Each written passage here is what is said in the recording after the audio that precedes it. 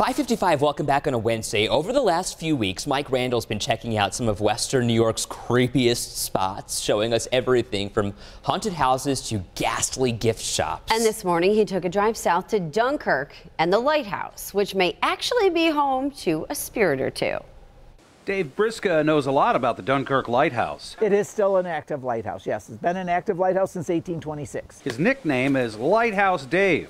He's a retired teacher, and for 10 years, he's been giving tours of this popular Dunkirk destination. Not only did we have this lighthouse for navigating up and down the lake, but we have a lighthouse to get safely in and out of the Dunkirk Harbor. Throughout the month of October, the lighthouse is open daily, 10 to 2, for visitors who want to soak up the history and check out the Million Dollar View four stories up. On a beautiful sunny day like today, it's an incredible view up here and kind of a sharp contrast to some of the dark and scary stories I've heard about this place.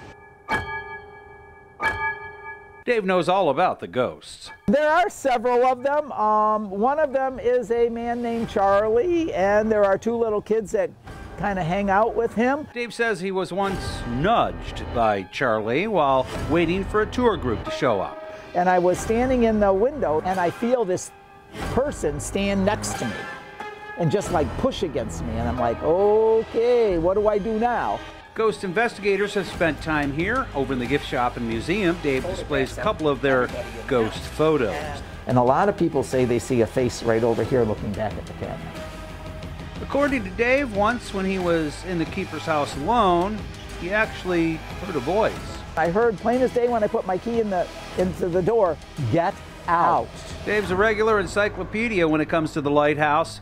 That little light bulb That lights it? light- Yeah, because we have what they call a third order Fresnel lens at the top of the tower. That lens was purchased for $10,000 in 1857. Today, it's worth $1.5 million.